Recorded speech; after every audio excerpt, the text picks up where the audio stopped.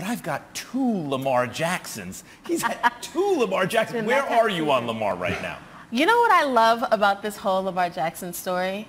I laugh to, when I think about it now. I laugh that there were people in the NFL that thought this might be the year that we figure out Lamar Jackson, because here's what we're seeing. Maybe this is the year Lamar Jackson is figuring out what defenses are trying to do to him. Because this kid leads the NFL in yards per completion, and he's second in rushing average. Lamar Jackson, a guy that at every turn has defied every sort of critic, critique that you can think of. And it's a great story because this organization, you see what happens when an organization goes all in on the QB and build around him and trust him to win games for them. Oh, that's such a great point. Louis, that is, you know, you know it's a great point when you're jealous that you didn't make the point.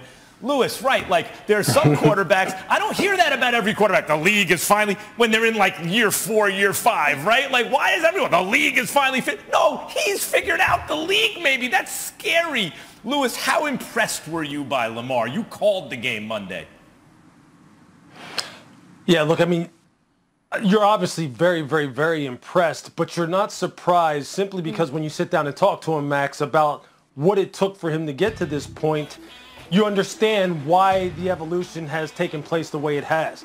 This started last year after they got knocked out of the playoffs in Buffalo. He sat down with John Harbaugh. They came up with a list together.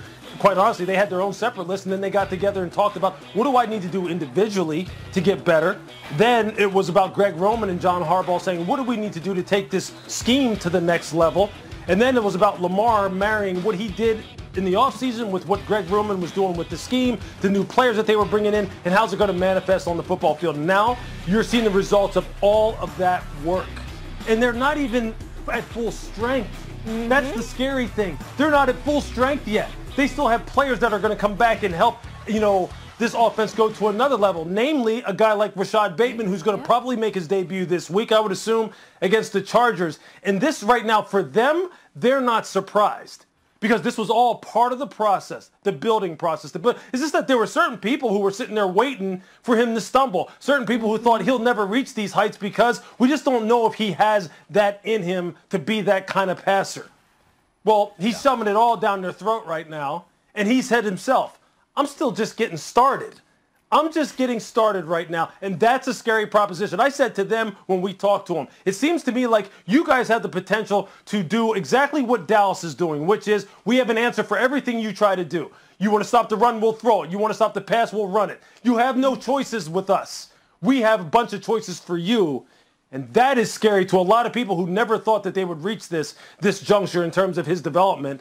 But for the rest of us, we get to sit and watch it, and it's beautiful to watch. I was going to say, like back in Warren Moon's day, they would have told him, go be a wide receiver, except they did tell him, go be a wide receiver. Mm. Not in Warren's yeah, Moon, Warren Moon's exactly. day. What, five minutes ago, they told him to be a wide receiver. Meantime, he played Patrick yep. Mahomes. Josh Allen outplayed Patrick Mahomes. You could argue Justin Herbert.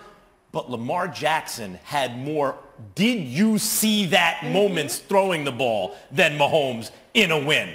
That's the first time I've seen that happen. And Lamar leads the Ravens versus the fantastic Justin Herbert and the Chargers in the best matchup of week six.